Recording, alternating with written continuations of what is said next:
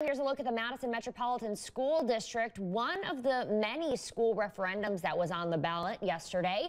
There were two questions on the ballot for MMSD. You can see voters overwhelmingly voted yes, approving $100 million over the next four school years to fund day-to-day operations for the district.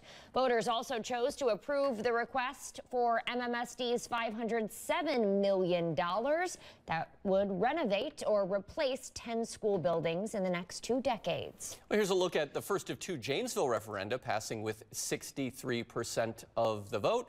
And a look at question two, which passed with 60% of the vote. School District of Janesville Superintendent Mark Holzman says more money will now go into the schools.